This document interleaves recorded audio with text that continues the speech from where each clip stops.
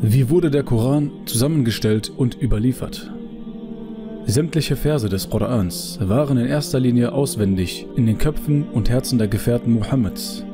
Da die Anzahl der Analphabeten unter den Arabern der damaligen Zeit sehr hoch war und ihre Geschichte und ihr Wissen hauptsächlich durch mündliche Überlieferungen weitergegeben wurden, waren sie perfekt vorbereitet für das Auswendiglernen des Korans. Von vielen Gefährten wird überliefert, dass sie nicht nur Teile, sondern den kompletten Koran auswendig beherrschten, so zum Beispiel Ibn Abbas, Ubay ibn Ka'b, Hafsa bint Umar, Ibn Mas'ud und viele mehr. Möge Allahs Zufriedenheit und Wohlgefallen auf ihnen allen sein. Ebenso gab es wohl kaum einen Gefährten des Propheten, Allahs Segen und Frieden sei auf ihm, der nicht zumindest beträchtliche Teile des Korans auswendig kannte. Muhammad, Allahs Segen und Frieden sei auf ihm, selbst legte seinen Gefährten das Lernen des Korans ans Herz, wie aus zahlreichen Überlieferungen ersichtlich wird. So heißt es in der Tirmidhi überliefert, wer auch immer den Koran liest und auswendig lernt und danach lebt, dem wird Allah der Erhabene das Paradies gewähren. Die Verse des Korans waren also in den Köpfen und Herzen der Prophetengefährten. Die schriftliche Niederfassung dagegen diente anfangs lediglich als Hilfestellung und für neue Muslime bereits offenbarte Verse zu lernen. Dementsprechend entschloss sich Abu Bakr, möge Allahs Wohlgefallen und Zufriedenheit auf ihm sein, erst den Koran komplett in Schriftform niederzuschreiben, als immer mehr Gefährten starben, die den Koran auswendig konnten. Die Niederschrift der Offenbarungen. Das schriftliche Festhalten des Korans kann in verschiedenen Phasen unterteilt werden.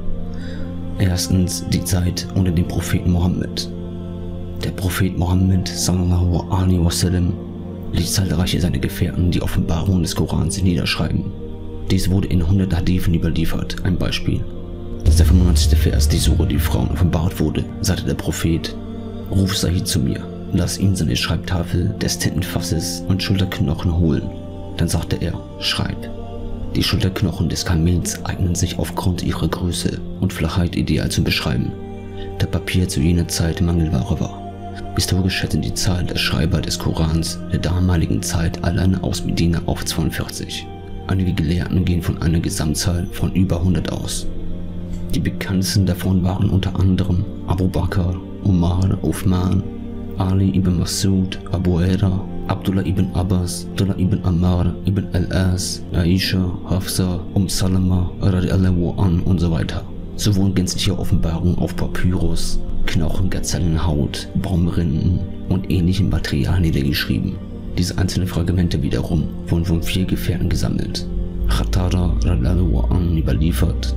Ich fragte Anas ibn Malik, Wer sammelte den Koran in der Zeit des Propheten sallallahu alaihi wasallam? Er antwortete, es waren wir, die allesamt von den Helfern aus Medina waren.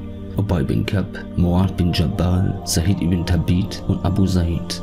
Zweitens die Zeit unter Abu Bakr, Omar und Uthman, an, und den Kalifen Abu Bakr unmittelbar nach dem Tod des Propheten Mohammed sallallahu alaihi wasallam wurden die verschiedenen Teile und Sammlungen der Gefährten dann zusammengetragen und das erste vollständige Exemplar des Korans schriftlich angefertigt. Der Beweggrund hierfür war in erster Linie die Schlacht von Jamama, bei den hunderten Muslime, die den Koran vollständig auswendig kannten, starben. Um sicherzustellen, dass die Überlieferung des Korans nicht in Gefahr geriet, beauftragte Abu Bakr nach Beratung mit Omar, also den ganzen Koran zusammenzustellen. Die Hauptverantwortung wurde in dieser Aufgabe Said ibn Tabit anhu übergeben, der der Hauptschreiber zu den Zeiten des Propheten Mohammed wasallam war. Said ibn Tabit überliefert. Ich fing also an, das Material vom Gedächtnis der Leuten, von Pergamenten, Knochen und palmierenden Stücken zu sammeln. Jeder Vers, seine Anordnung und Position mussten von mindestens zwei Personen, in erster Linie ohne Zeugen der Offenbarung bezeugt werden. Die meisten Gefährten beherrschen zahlreiche oder auch alle Verse des Korans auswendig. Auf diese Art wurde also der erste Koran zusammengestellt, dessen Wortlauf uns bis heute überliefert wurde. Als Abu Bakr an starb, kam er in Besitz von Umar an, danach in den Besitz seiner Tochter Hafsa an. Uthman war es dann, mehrere Kopien des Korans anfertigen und in die verschiedenen islamischen Metropolen des ersten islamischen Jahrhunderts schicken ließ. Dazu gehören zum Beispiel Mekka, Medina, Damaskus, Kufa und Basra. Dass der Koran vollständig auf diese Weise erhalten blieb, ist der Konsens der islamischen Historiker und Gelehrten und wird auch von nicht-islamischen Wissenschaftlern bestätigt. Aussagen von nicht-muslimischen Wissenschaftlern Die Gestalt des Korans, wie wir sie jetzt haben, ist im Wesentlichen zwei bis drei Jahre nach dem Tode Mohammeds fertig gewesen, da die ottomanische Ausgabe ja nur eine Kopie des Exemplars der Hafsa ist, dessen Bearbeitung unter Abu Bakr oder spätestens unter der Regierung Omars vollendet wurde. Diese Bearbeitung erstreckte sich jedoch wahrscheinlich nur auf die Komposition der Suren und die Anordnung derselben. Hinsichtlich der Einzeloffenbarungen dürfen wir das Vertrauen haben, dass ihr Text im Allgemeinen genauso überliefert ist, wie er sich im Nachlasse des Propheten vorfand. Quelle Friedrich Zacharias, deutscher Orientalist Ulum al-Quran. Zu Ende seines Buches The Collection of the Quran erklärte der Orientalist John Burton, dass der heutige Text des Korans der Text ist, der uns zugekommen ist in der Form, wie er vom Propheten zusammengestellt und genehmigt wurde. Was wir heute in unseren Händen halten, ist der Musaf, also der schriftliche Koran des Mohammed. Quelle John Borton The Collection of the Quran. Auch Jeffrey Lang schlussfolgert, dass die gezogenen Schlüsse der islamischen Gelehrten bezüglich der Erhaltung des Korantextes der Geschichte in Anbetracht der vorhandenen Beweise eher standhalten als die Meinungen ihrer Opponenten der Orientalisten.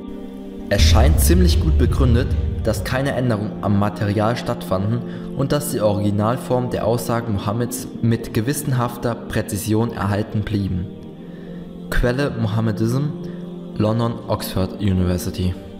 Es gibt wahrscheinlich kein anderes Buch der Welt, welches zwölf Jahrhunderte lang, mittlerweile 14 Jahrhunderte, in so einem unverfälschten Text erhalten blieb. Quelle Life of Muhammad, London. Wir haben keinen Grund anzunehmen, dass auch nur ein einziger Vers im Koran nicht von Mohammed selber stammen würde. Rudi Parrett, Vorwort der Koran. Und all dies sind Zeugnisse für die Wahrhaftigkeit der Aussagen Allahs subhanahu wa ta'ala in seinem Buch, dem Koran.